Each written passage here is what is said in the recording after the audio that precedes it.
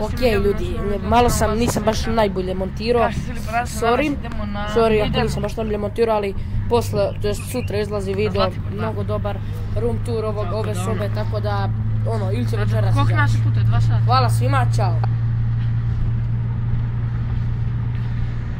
Mi se vidimo za sekund, je to sekund, meni je dva sata, tako da ono. Okej.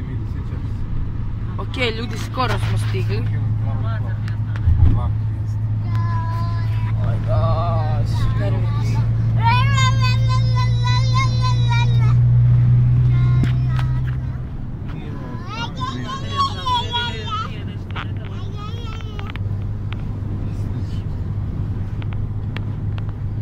Javljam se za 10 minuta kad stigne. Javljam vam se za 10 minuta kad stigne.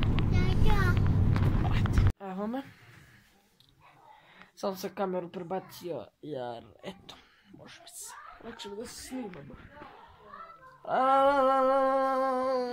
Stigli smo konačno, mi se spava mnogo, tako da ono...